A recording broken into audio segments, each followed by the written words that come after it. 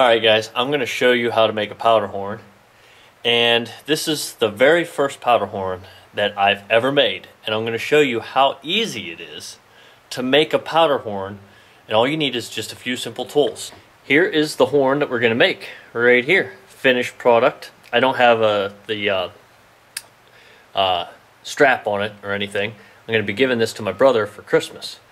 This is the very first horn I've ever made, and all you need to do is a little research on the internet and just a little bit of handwork, and uh, I tell you what, it is something else. So we're going to get started by uh, going over the tools that you're going to need, and then we're going to get right into the process of making this actual powder horn, which is a, actually a priming horn because I got a small hole there at the bottom. This actually, I turned this into a priming horn. It's rather small, so. Okay, first thing you need to do is go cut the horn off a cow. I actually had a cow up at the farm that uh, was being a little rambunctious with the other cows, so I cut the horns off of her yesterday. And um, now you can find just horn blanks on the internet uh, for a relatively cheap price. Uh, you might just depending on the quality uh, for the for your price, but this part will pop right out of there. And I just got this one done, and um, this one actually popped off when I was cutting uh, the horn off the cow, and you could see how clean it is inside. I haven't done anything to the inside of this horn. That's just how clean it was. And um, I'm going to make one of these horns into a priming horn, and I'm going to make one of these in for uh, just a regular powder horn for my uh, for my regular loads in my 50 cal muzzleloader. Okay, everything you need to make a powder horn. And I don't have everything here, but this is going to be uh, some of the main stuff. A heat gun. Uh, this is something that I think is a must-have because when you go to heat this horn around here and you have this cut off to put your uh, plugs in the base here, it's not going to be, you can see it's not perfectly round. And you can boil it and get your uh, plug to fit, but the problem is what's going to happen is you will not lose the memory uh, on your horn, and it will start to try over time to go back to that shape. So you have to break the memory in the horn. And because this is a pretty thick horn, it's going to really keep its memory. So you're going to need something at least that gets hotter than 375 degrees. Boiling water just isn't going to cut it. You can boil this thing all day and you're still not going to uh, get the memory out of that horn and, until you get use a heat gun. Uh, the only other way to do it is to actually put it in really hot oil, but that's not really safe. Get a heat gun, they're really not that much money. Okay, we need some wire, pen or pencil. Uh, this isn't a must, but if you have any little O-rings, uh, they actually will help you when you go over the horn here uh, to help draw really good straight lines around the horn. Okay, you need some uh, plugs. If you uh, turn them yourself or you can get on uh, on the internet, you can find some of these. Um, just some regular different styles, different sizes, uh, base plugs. Or you can cut your own just out of, uh, you know, three quarter inch to half inch uh, wood, you know. Uh, but I, I just bought some of these. I don't do this all the time, so you're just going to be following with me here. Um, some rasps. There's a four-way rasp uh, and some files. Uh, hacksaw. Uh, some different grades of steel wool. This one actually includes three grades, uh, coarse, medium, and fine. Uh, if you have some sandpaper also, this is 180 grit, this is some kind of a new kind of a sandpaper sponge block or something, but uh, we're just going to give that a try, but uh, you can, if you have other types of sandpaper, uh, that'll work too for coarse to, to fine, but you're going to finish your polishing off with steel wool. Uh, some kind of an epoxy. This is just a JB wood weld. Um, epoxy will work, any kind of uh, like wood glue or something like that. Um, this is not a necessity, but if you ever do some scrimshawing or any type of uh, designs in the horn, you'll need some kind of cutting tools. Also, if you're going to want to make sharp ridges on your, you need something to, to cut and scrape the, the horn with.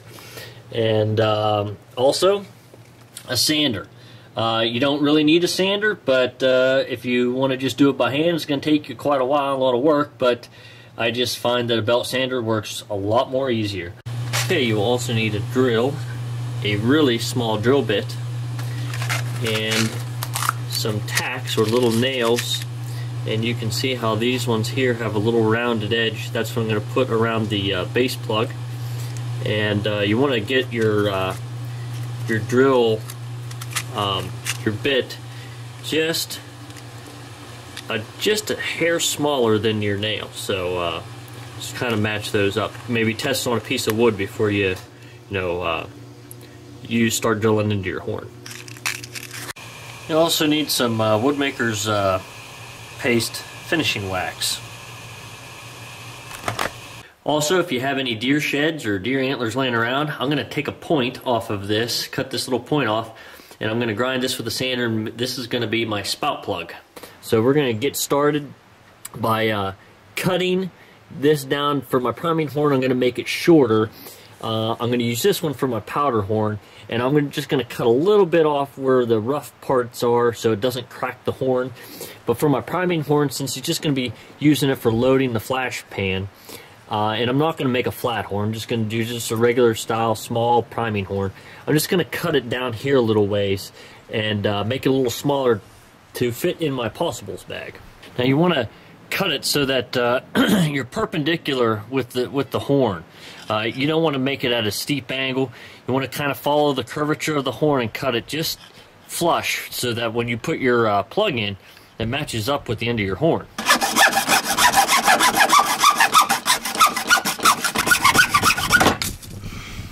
Uh, as you can see, it's not perfectly round, but we're not going to worry about that right now.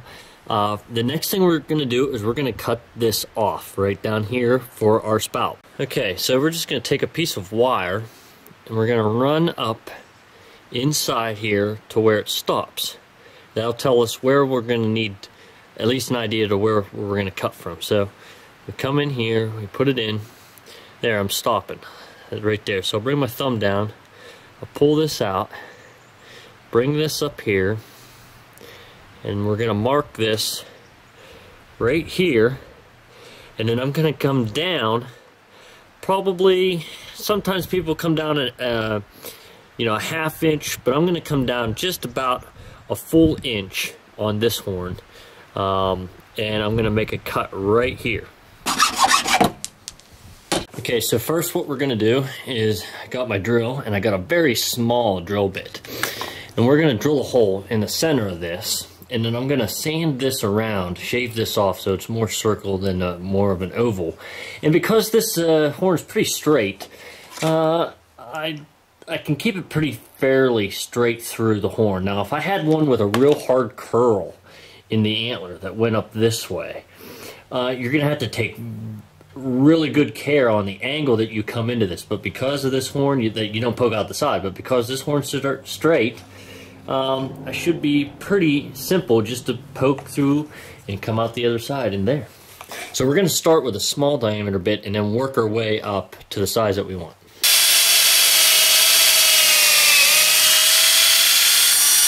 I believe I have popped through the other side. There you can see the hole through the horn. Deeper hole. That's a pretty good sized hole right there. And see that ring that's around there on the outer side, that's where I'm going to shave this down. Ground down to a circle. And I don't want to go the whole way back on the on the horn. So what I'm going to do is I'm going to take some tape and I'm going to tape off where uh, the distance of where I'm going to ground this horn down. Okay, there is uh, the taped off. So this is all the further I'm going to grind and I'm going to take a, a belt sander and I'm just going to slightly grind this down using my hands and work it so I have the diameter of that outside edge hole.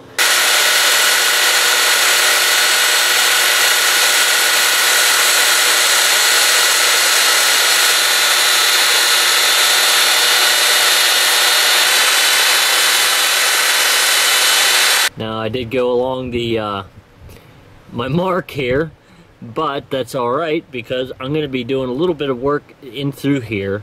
But my main goal was to get this part down here nice and rounded.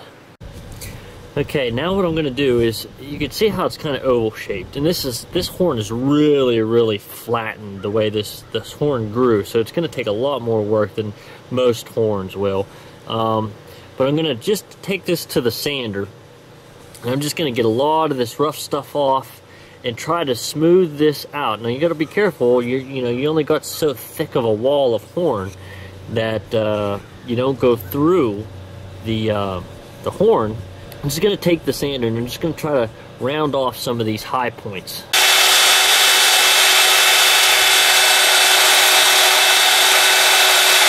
You can see that it's a lot more rounded and I still got a ridge right here that uh, I'm to just put some little grooves in here.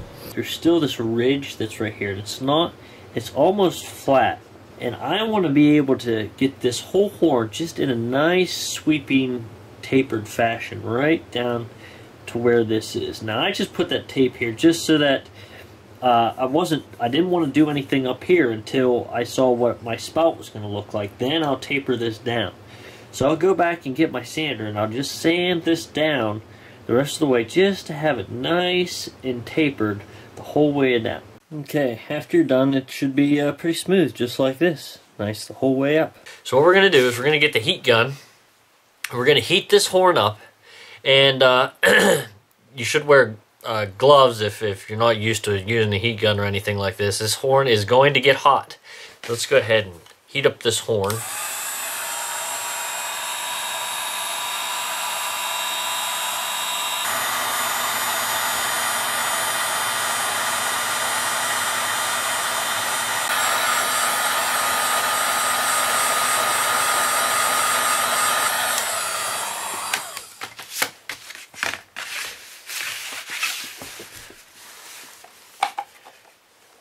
Just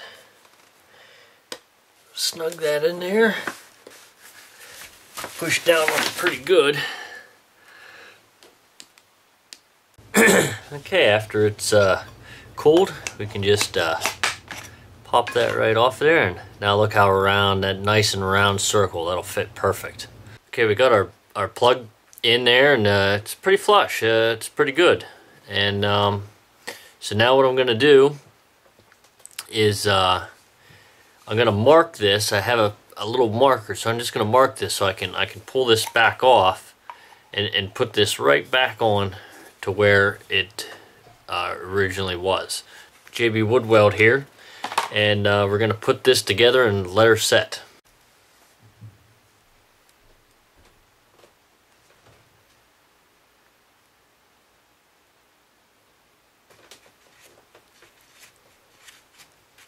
Okay, we're just gonna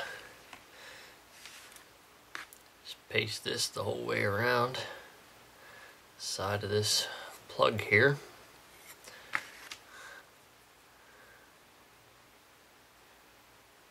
Just gonna put a little bit right on the inside of this horn here too. Now I'll take this, I'll find my mark, and I'll find my mark here. And I'll just set this right down on here and squeeze her, push her in real good. And I will just wipe this off with my thumb here, the excess, because what I'm going to do later is I'm going to sand this off so even if it does dry hard um, like this, I, I'm still going to be taking it off with a sander. Now we just let this sit for about four hours till she hardens up. Okay, so while this is drying, what I'm going to do is I'm going to take some of my O-rings and I'm going to slide them on here where I want them. And once I get where I want the one in place, I'm just going to going to mark this the whole way around this horn. Then for the bottom one, I'm just going to put line around the bottom. I'm just going to want to get my file. and I'm just going to start scoring that line just like that. Just put the, the file on there and just start scoring that line.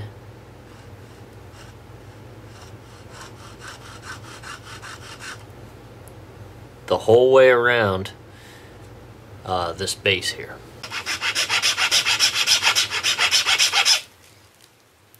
Okay, there's my uh, spout. Um, I didn't want it a, you know, a complete cylinder, but I've got it rounded off so I have this edge here. And what I'm going to do is I'm going to carve this side out. And uh, this will be a band on here. This is this will be the place where I would uh, put my strap. Well, after doing quite a bit of filing, I, this is a, just a progress uh, so far. Just keep filing. Tell you what, that's looking really good for what it is now, just in the rough stage. Alright, there's my horn, and yeah, uh, be careful with the heat gun. This horn is super, super thick. And most of the time, if you're going to buy them on the internet, they're probably going to be a lot thinner than this thing. And this horn was so thick that uh, I either should have sanded the outside down a little more to make it a little bit thinner, but I got the heat gun, really I got the heat gun too close. Uh, I, I got it heated down here without mounting but I just got a little carried away with the heat gun and kind of stained it there a little bit, but I'm going to try and get that out, sanding it later. Uh, I just kind of hit the steel wool with it a little bit, and you can see it, it it's looking pretty good. It's not uh, nothing uh, it's going to win uh, an award or anything. I'm not going to, it's not like some kind of a um, a piece of art to me. It's just uh, something that's useful and, and it works. There's what it looks like in better light. I just work on a little bit each day. So uh, time to hit the sander and smooth this out now that uh, the uh, uh, wood weld is dried.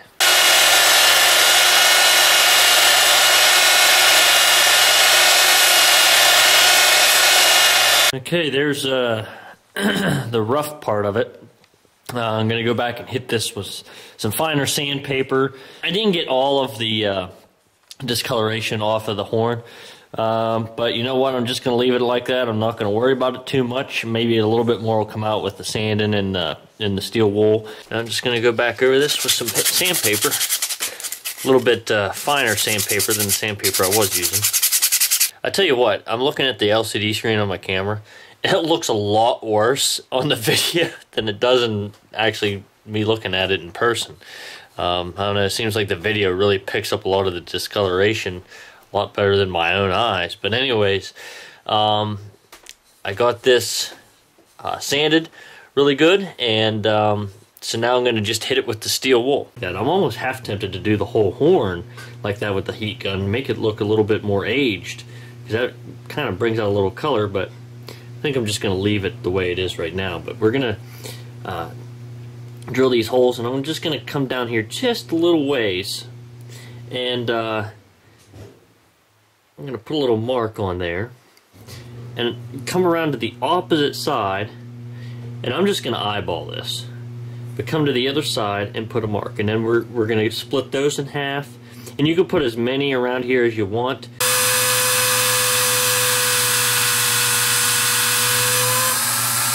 now you don't want to drill clear into your wood you just want to drill through the horn and a little bit into the wood. Then we're going to take a hammer and just tack that nail right down in there. Just going to seal it up with a little bit of super glue on here. Okay, now we got that in there. Just going to tap this down.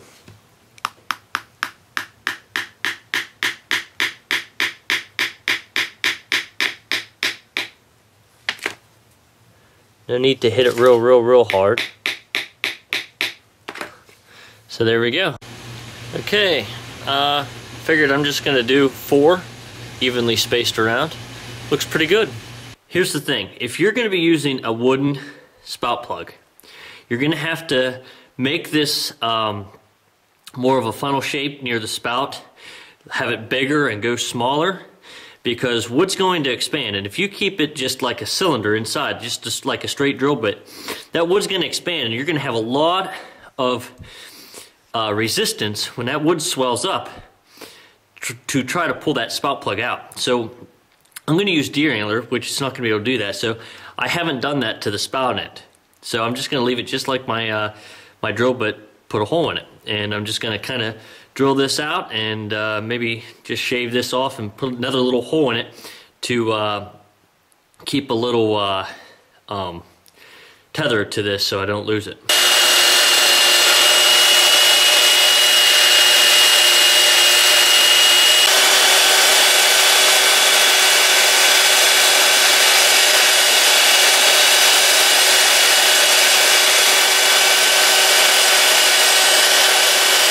Like I said, this is basically a priming horn is what I'm making it out to. I want it really small so that I don't fill the whole flash pan full of powder all at one time because I have a big hole in there. So I want it to, to kind of help it restrict. So this will go right in there. What I'm going to do is I'm going to put a little hole up through the top here so I can kind of tether this to the horn. Okay, what I got here, you can just use string, but I have some artificial sinew. And uh, this is what I'm going to use to tether these um, spout plug to the horn.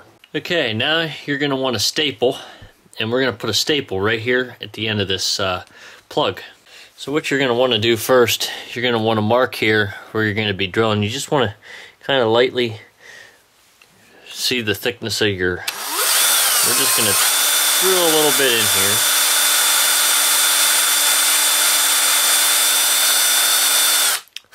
Mix some of this wood weld up we're just going to paste this right in the hole, each one of those holes.